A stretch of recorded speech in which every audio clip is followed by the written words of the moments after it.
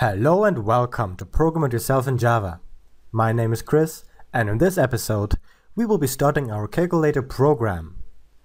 We will begin with a relatively simple implementation and gradually learn new things that we can use to improve it. But let's not waste time with talking.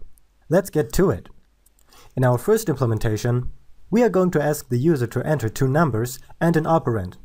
That way, we can determine the operation he wants to do and produce the desired result. We are going to create the necessary variables first.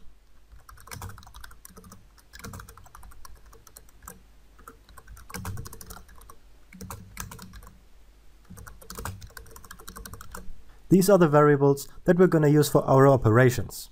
We're going to use a character to store the operator because we're only going to need one single symbol in order to determine what we want to do. The last thing we're going to need is of course the scanner.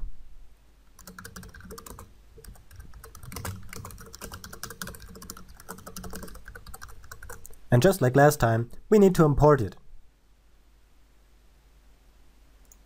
Now that we're ready to go, let's implement the logic. First of all, we need to tell the user what he needs to do.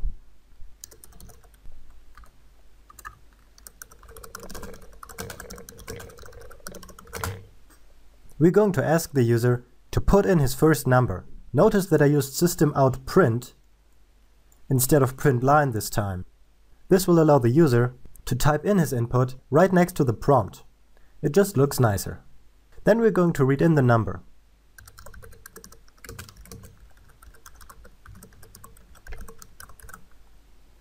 We're going to use our scanner instance, which we called input, to store the next integer into number 1.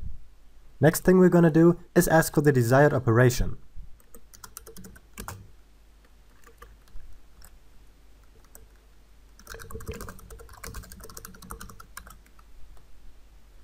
This time it gets a little bit trickier. The scanner cannot obtain single characters. It doesn't have a next character method. And just using next like this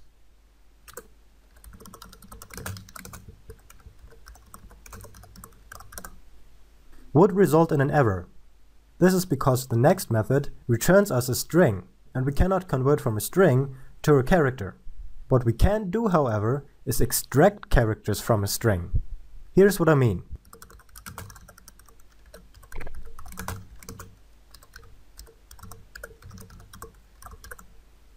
We are creating a string called user input and store the token inside. And then we will extract the character doing this.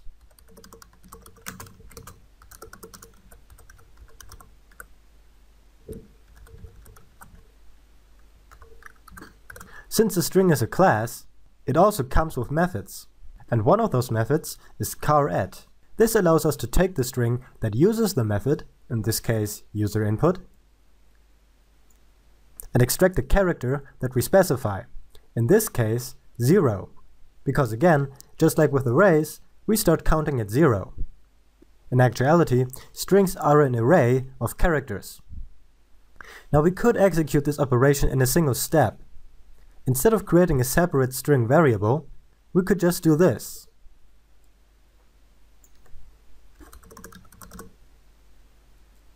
As you know, the next method gives us a string.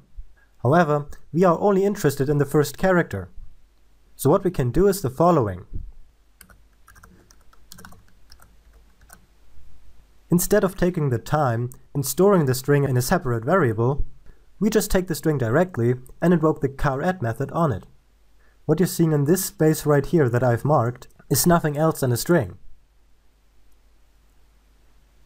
If you didn't understand it, feel free to ask, and I will try to elaborate on this. Anyway, now it's time to ask for the second number.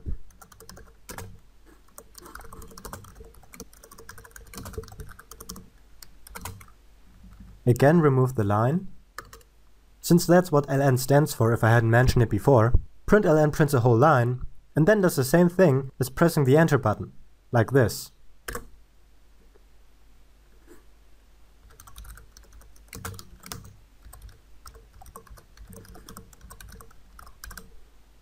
At this point, we are done with the user. We've gotten all the data we need, and now it's time to process it. So first of all, we are going to need to think about what we're going to do. We know that we have to perform a specific operation depending on what's inside of operator. And for now, we want to limit our calculator to basic arithmetic only. So we're going to add, subtract, multiply, and divide. Those are four different situations that we need to differentiate. We could go and use if statements, but that would quickly become messy, especially if we're going to add more functionality later on. A better alternative would be the switch statement. The variable in question is of course the operator.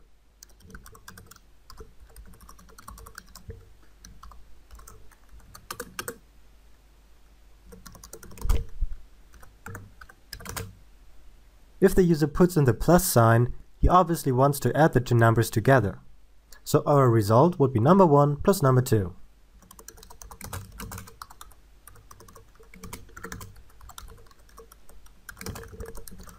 Don't forget to break, there we go. And that's all the cases that we need to take care of. And now it's time to print out the result. Now we could be a bit fancy and do this.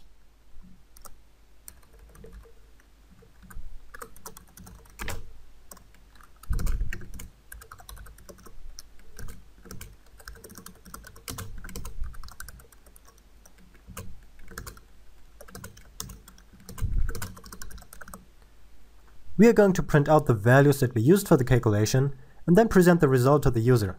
What I did here is using an empty string. If I hadn't done this, the program would add number 1, operator, and number 2 together and printed that result on the console.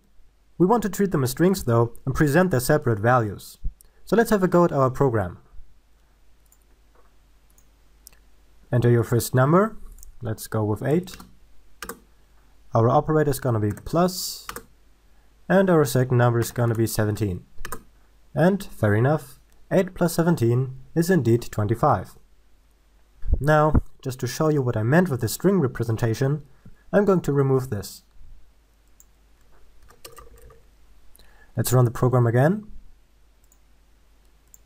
8 plus 17, 68 equals 25. Wrap your head around that. This is because now number 1, operator, and number 2 all get added together. You might be wondering how that works, since operator is actually just a character. Well, with characters, you have the option to represent them using ASCII code. So if you're doing some quick math here, 68 minus 25 would be 43. So the ASCII code for the plus sign would be 43. Just if you were interested, uh, don't let it confuse you. We will probably talk about that in the future. So let's add this back here and do some more testing with our program. Just because it ran once flawlessly doesn't mean it's perfect. Let's say we want to divide 14 by 3. 14 divided by 3 is 4. Well, that's not true. Even I know that. So obviously here's room for improvement. Let's take a look at our variables. Well, the error is right there. The data type we chose for them is integer. Now I don't think there are many calculators around that just use integers for their operations. So let's go ahead and change them to doubles.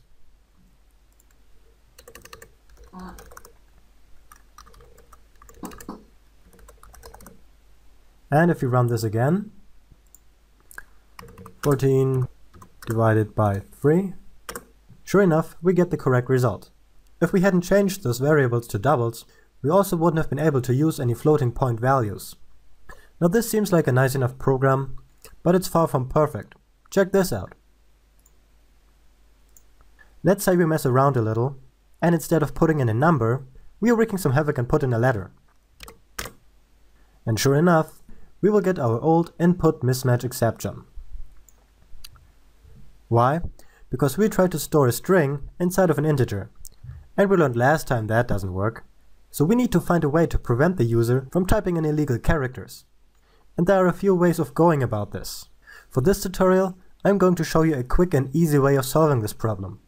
Before we're going into the code and try fixing the problem, we need to ask ourselves, what do we want to do? If the user makes illegal input, we still want him to be able to use the program. So if he gave us a value that we can't use, we need to ask him again. And this is easily achieved using a while loop. So first we're going to prompt him to enter his first number. And then we need to check whether or not we got a double value.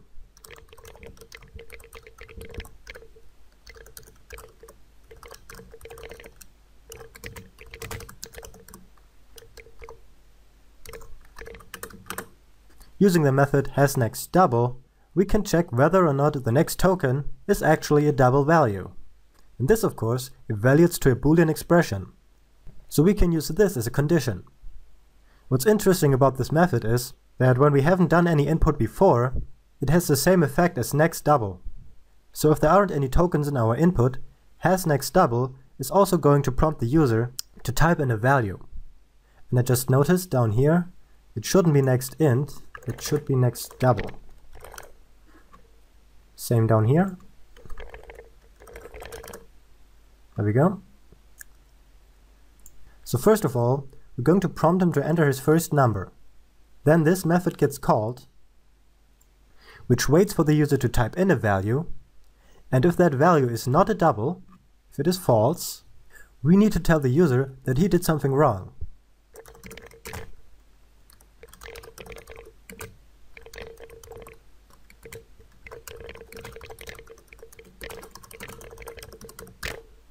We will tell him that the input was invalid, but that alone is not enough to prevent the error. Because at this point, if he didn't type in a value, this boolean expression right here would always evaluate to false. And this means that we would go into an infinite while loop, and we would print out this message a lot of times. So what we need to do is tell our scanner that he needs to discard the current token. Here's how we do it.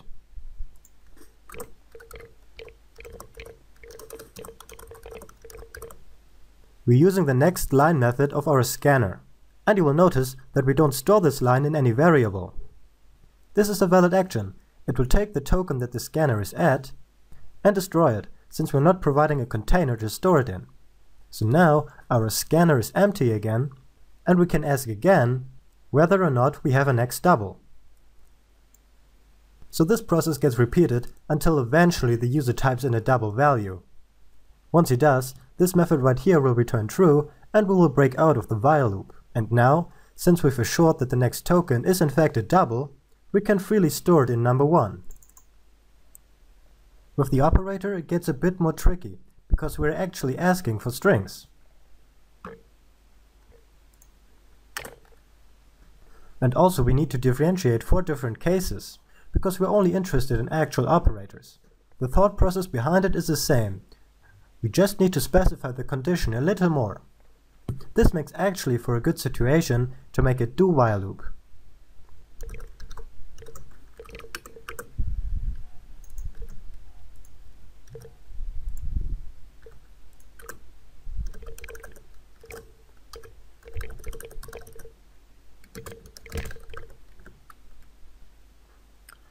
So we're storing the first character into operator like usual, and if the operator doesn't match any of these signs, we will repeat this process until we get one of our operators. Remember, using a double pipe like this is the logical OR operator. Now, for number 2, we can just go and copy and paste this.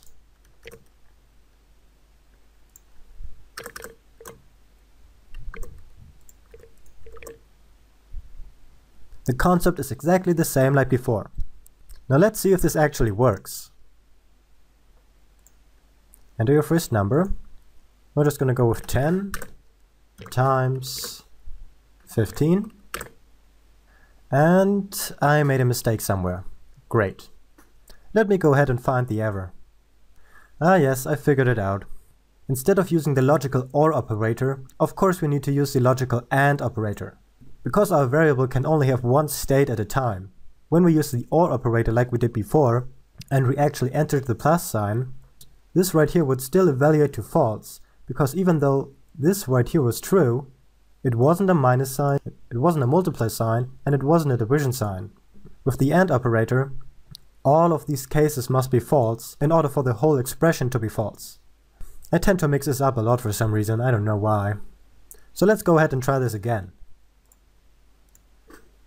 10 times 15 is indeed 150. Now let's try entering a letter. First number is T. Invalid input. Only numbers are allowed. Oh, well, let's try K. Invalid input. Okay, fine. 15. Operator is gonna be G. Well, we forgot to print out an error message, but it should still work. If I enter a minus sign right now, right, we get to enter a second number. Um, D, invalid input. But we're actually getting this error message two times in a row. I'm not quite sure why that is. And now we're only getting it once. I think it has to do with the operator right here. Because I tried to fool the system by entering a G, it printed out this message two times because we never got rid of G. Up here and down here, we erased the token using next line, but we never did it here. So this is likely the reason for that. Anyway, let's try entering a number. 100 and 15 minus 100 are indeed minus 85. Just now, we have written our real first program. It actually does something useful. Sure, it's not the best, but hey, we're only starting out. Over the course of the next few tutorials, we will learn how to improve our calculator even more and add more functionality to it. But this is all the time I have for this episode. I hope you found it useful. If you have any questions, feel free to put them in the comments and I'll be happy to help you out. If you want to see more videos like this, feel free to subscribe. See you next time!